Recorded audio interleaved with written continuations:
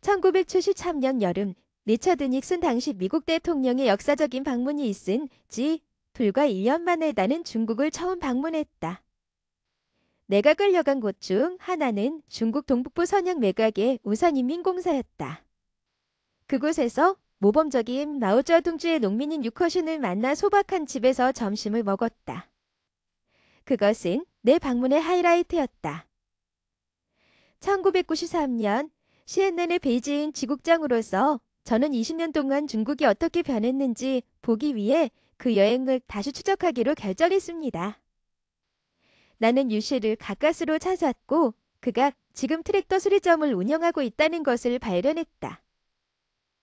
그는 TV가 있는 새 아파트에서 살았다. 1980년대 당시 고위 지도자 덩샤오핑이 도입한 시장 지연적 개혁의 수혜자로서 그의 삶은 분명히 개선되었다.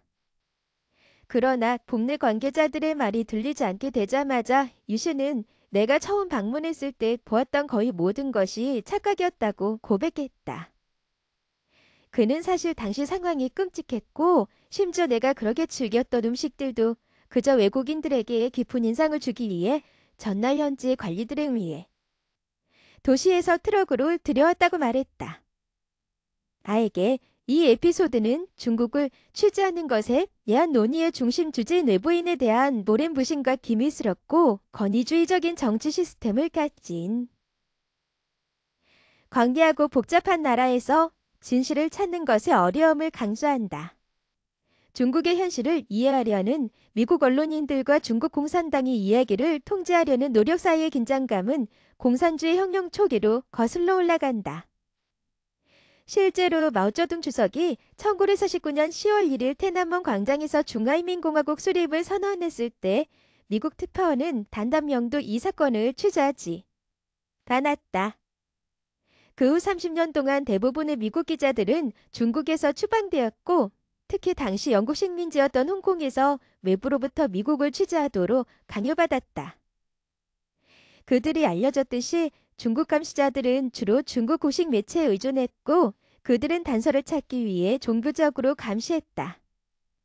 1972년 이언 닉슨의 역사적인 방문이 있은 후에야 그 문이 열리기 시작했고 1979년 미국과 중국이 공식적인 외교 관계를 수립한 후에야 비로소 미국의 뉴스 기관들이 베이징의 지국을 개설하는 것이 허용되었다. 그 후 수십 년 동안 중화인민공화국은 항상 장애물과 한계가 있었지만 미국과 다른 외국 언론인들에게 점점 더 접근할 수 있게 되었다. 예를 들어 내가 1987년 CNN의 첫 베이징 지국장이 되었을 때 공식 규정은 기자들이 베이징 밖을 여행할 때 10일 전에 허가를 받고 정 관리인을 동반하도록 요구했다. 1980년대 후반에 잠깐 동안의 개방성의 급증은 1989년 베이징의 천안문 광장에서 민주화 시위가 진압되면서 끝났다. 그러나 덩샤오핑이 1990년대에 시장형 경제개혁 프로그램을 부활시키면서 새로운 분위기는 외국 기자들의 조건을 크게 향상시켰다. 여행하기가 훨씬 쉬워졌고 지방 공무원들도 훨씬 더 쉽게 접근할 수 있었다. 그들을 쫓아내는 대신 그들은 종종 미국 특파원들에게 외국인 투자를 유치하는 방법에 대한 조언을 구했다. 외신 기자들이 불가능하지는 않더라도 이전에는 어려웠던 방식으로 중국 사회를 파고들 수 있었던 통쾌한 시기였다. 우리는 언젠가 반체제 인사가 수감될 나라를 취재하는 역사를 이해하려고 노력했습니다. 그리고 그 다음날 우리는 세계에서 가장 큰 공항의 개장에 대해 보도할 것입니다. 그러나 2008년 베이징 올림픽을 계기로 중국의 국내 정치 폭토화 대태가 바뀌기 시작했다.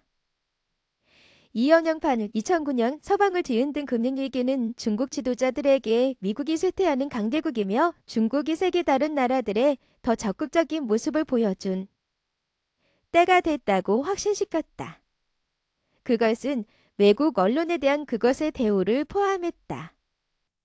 그 이후로 중국을 취재하는 것은 기자들이 정기적으로 미행, 괴롭힘, 차단, 심지어 구타를 당했다는 것을 알게 되면서 당국과 점점 긴장된 게임이 되었다.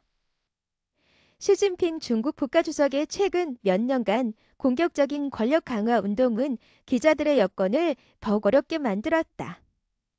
마오쩌둥의 사망과 미국과 외교관계 수립에 이어 1970년대 말 개혁 프로그램에 착수한 이후 중국 주재 기자들의 환경은 그 어느 때보다 제한적이다. 동시에 시 주석은 공산당의 통제를 더욱 강화하고 그가 평생 통치할 수 있도록 당의 정책을 바꾸었다. 항상 불투명하고 비밀스러우며 해결해야 할 과제인 중국의 고위 정치는 더욱 그러해졌다.